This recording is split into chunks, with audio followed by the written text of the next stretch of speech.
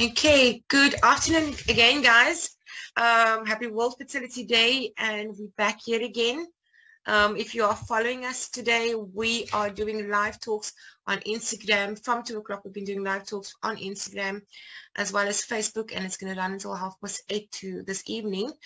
Um, we've got different doctors from all over South Africa.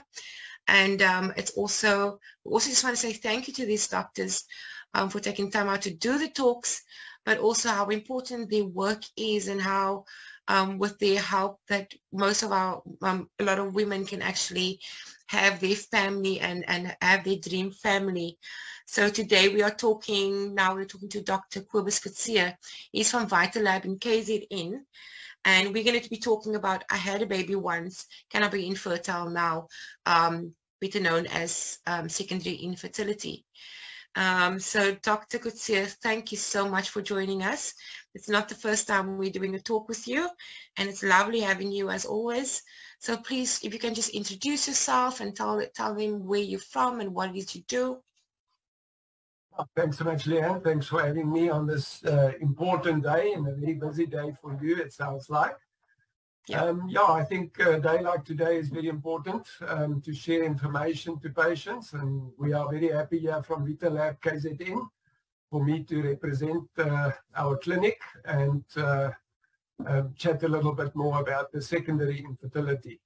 So we are from Umhlanga, our clinic is in Umhlanga and yeah, we are three doctors currently uh, uh, working there, Dr. Sky Young and Dr. Noloyolo Siku, and as well as myself. Okay, awesome. So we're going to get straight into it. Um, what is secondary infertility? Oh, well, that's basically when you've had a baby and now you're trying for another baby and um, not falling pregnant, or it can also be if you don't carry that baby to term, uh, okay. i.e. having miscarriages. Okay. And what are the signs of secondary infertility? I don't know if, if this is phrased correctly, um, but what are the signs of secondary infertility?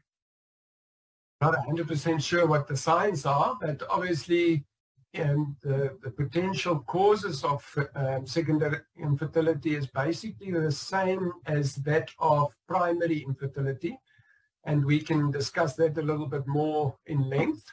Um, mm-hmm. but the other thing is also once you've had a baby, you know, patients kind of think, well, I've done it before. Yeah. I should be able to do it again.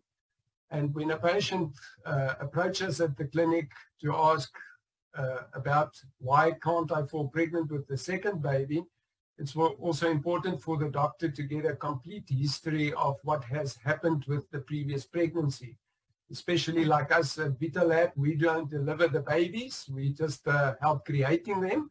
So um, a full history of the birth of the baby is very important because it may have been a difficult birth. There may have been uh, excessive blood loss. There may have been bleeding after the delivery of the baby with the pain products where, for example, the doctor had to go back to theater to clean out the uterus. And all of those will be red flags for us as a potential cause why patients can't fall pregnant with the second baby.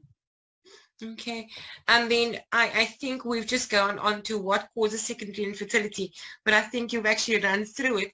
But if there's anything else that you want to say about it?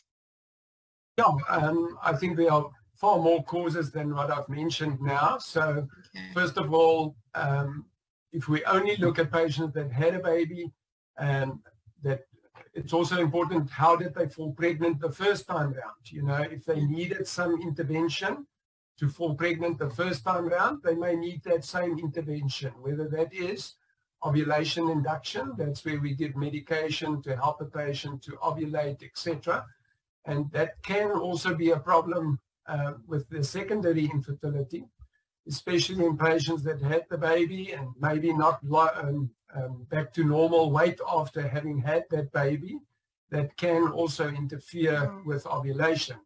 The other thing is how is the patient coping with this uh, newborn baby in the house? Maybe there's a lot of stress and we know that stress can affect the uh, hormones from the brain um, uh, affecting the ovaries and can also lead to um, not ovulating regularly.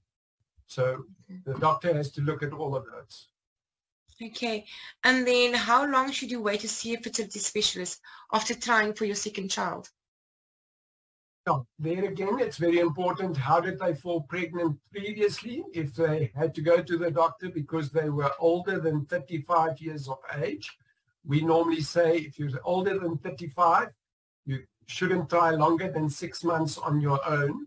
So I think if you fell pregnant the first time around being older than 35, you should visit the fertility specialist sooner than later.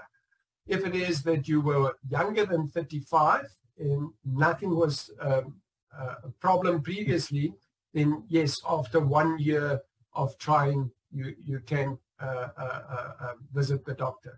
But those are all very um, well saying that.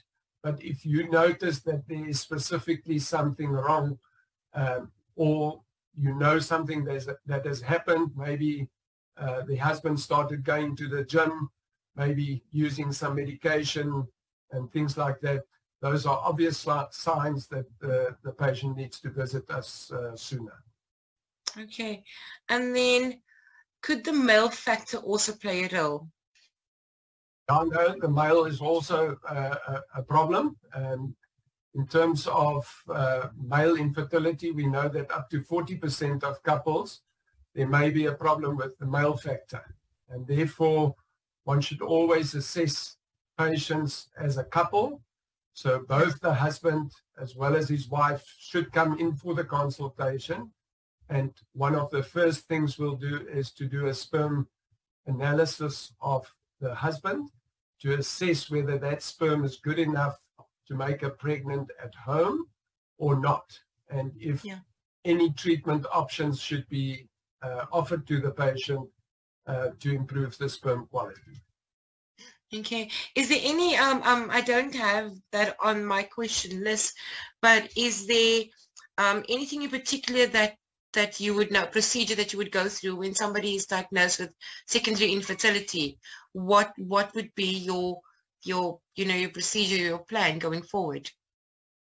Yeah i think a, a, full history from the patient is is very important because that's where we normally pick up uh, little clues that will guide us as to what direction to follow. So after the exam um, the history we do a full examination. And remember um, all the primary infertility causes can also be uh, uh, present when patients struggle to fall pregnant for with their second baby.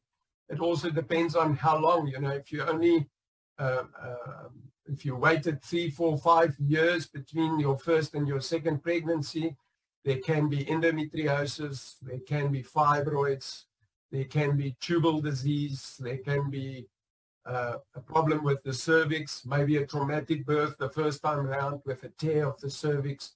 All of that can cause uh, problems trying to fall pregnant again. Okay. And then our last question is, do you have any words of wisdom for women trying currently trying to conceive or couples currently trying to conceive? No, I think um, the first thing you don't tell uh, patients trying to have a baby is to relax.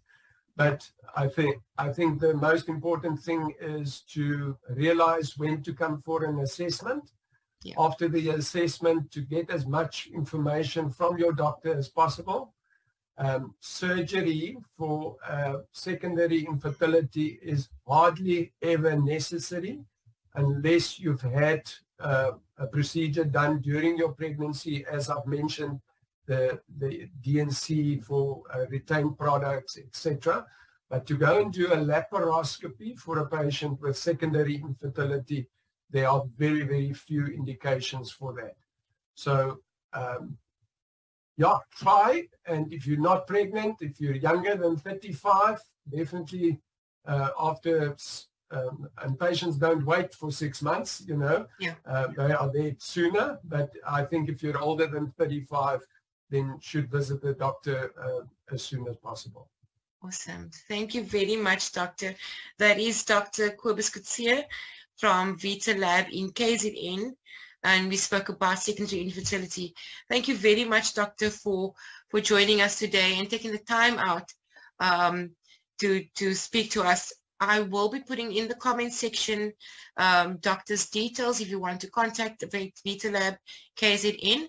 We will put all the details in the comment section of this. You can also watch the video um, or if it's coming now, later, late, and you have any, um, want to watch the video, you can watch it on YouTube or it will be posted live to um, Instagram and Facebook later. Thank you very much, Doctor. Have a great day further. Thanks, Leanne. Thanks for having me and enjoy the rest of your day. Thanks. Bye-bye.